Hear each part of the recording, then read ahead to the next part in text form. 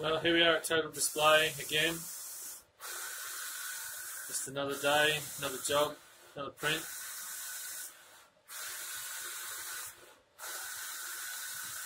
Today we're doing a, a print and a cut later, so it's just doing the alignment marks and uh, once it's printed and dried we'll put it back in and then it'll contour cut the job.